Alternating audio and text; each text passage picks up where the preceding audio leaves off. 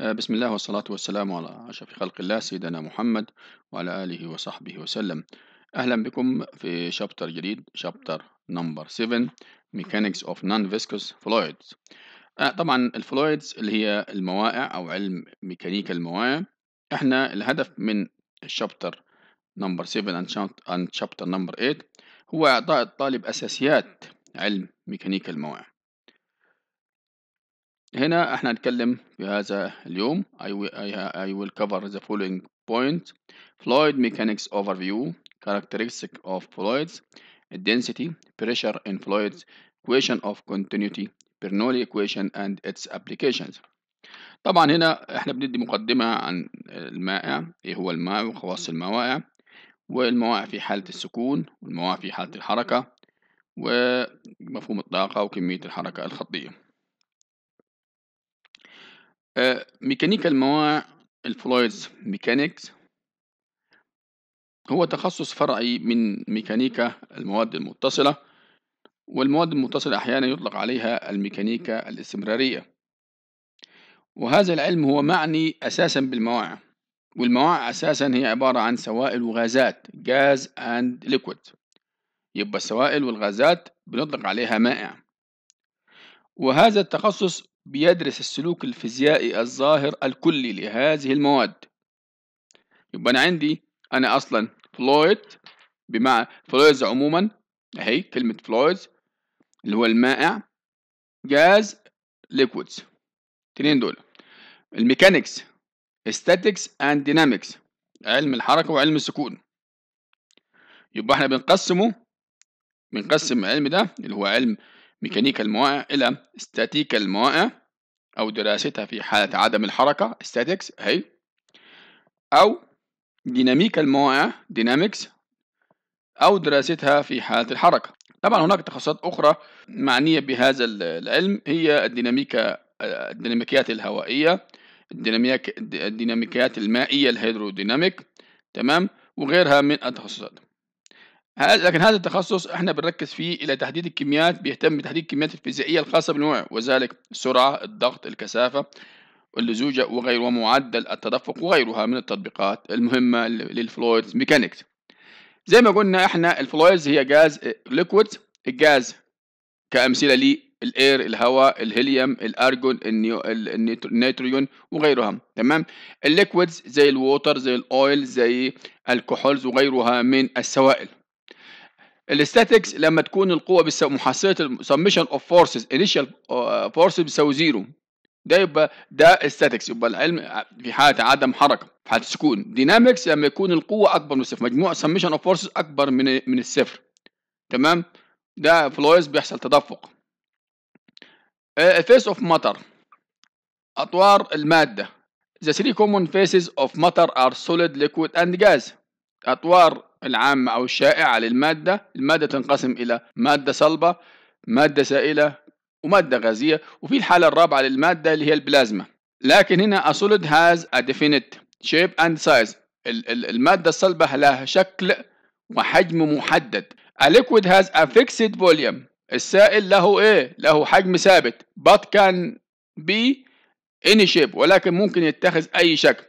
يعني السائل بياخذ شكل الكونتينر شكل الاناء الحاوي له لكن حجمه ثابت لكن الشكل بياخذ شكل الاناء يبقى شكله متغير. A gas can be any shape and also can be easily الغاز ممكن ياخذ أي شكل وممكن بسهولة ممكن يضغط تمام؟ يبقى الصلب المادة الصلبه لها شكل وحجم محدد لكن المادة السائلة لها حجم محدد وشكل أي شكل. الغاز ليس له شكل محدد ولا حجم محدد. ال liquids and gases both flow كلاهما بيتدفق and are called fluids وبالتالي بيسموها موائع نتكلم عن ال density the density of a fluid is defined as the mass per unit volume اهي ادي ال rho اللي هي ال density كتلة على حجم وال SI unit of density is kilogram per meter to the power of 3 ال density is also sometimes given in gram لكل سنتيمتر مكعب يعني ممكن في النظام العالمي للوحدات تقاس ال density بالكيلو جرام لكل متر مكعب لكن في النظام في نظام ال CGS السنتي والجرام والثانية تقاس ال density بالجرام لكل سنتيمتر مكعب. و to convert جرام سنتيمتر مكعب 2 كيلو جرام إلى مكعب لكل متر مكعب نضرب إحنا في 1000 ليه؟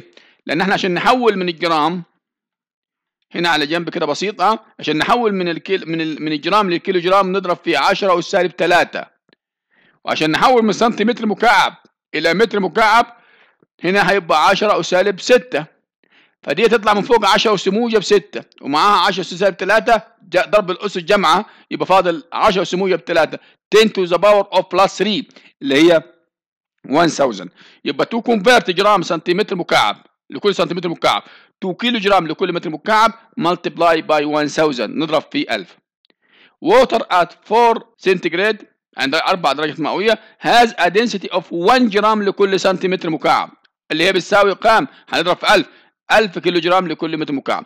يعني أنت لو عندك container ال container ده ال container ده أبعاده 1 سم في 1 سم في 1 سم في الآخر خالص هو هيبقى فيه كمية مية 1 جرام. لكن لو عندك container أكبر 1 متر 1 متر 1 متر الارتفاع ال width العرض وال depth وال height 1 متر 1 متر 1 متر كمية المية هتبقى في ال container 1000 كيلو جرام. Specific gravity of a substance دي بيسموها الكثافة النوعية. يبقى الكثافة النوعية لاي للمادة is the ratio of its density to that of water. هي النسبة بين كثافتها إلى كثافتها إلى كثافة الماء. هناخد ال pressure تمام؟ ال pressure in fluid الضغط. يبقى إحنا خدنا ال density rho m على v هناخد الضغط.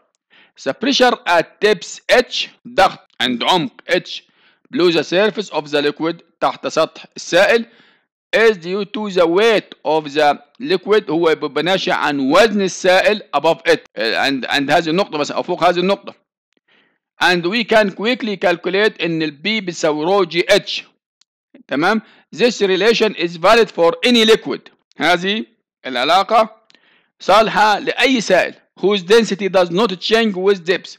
اللي كثافته الكثافته ما تتغيرش مع العمق.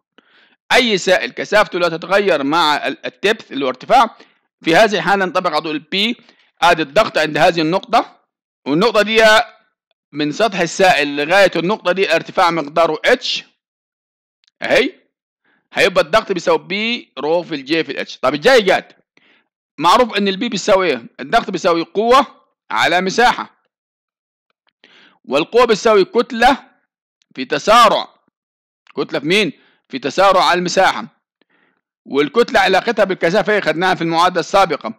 ال rho بيساوي m على v يبقى ال m بيساوي rho في v في g على مين؟ على A طب تمام.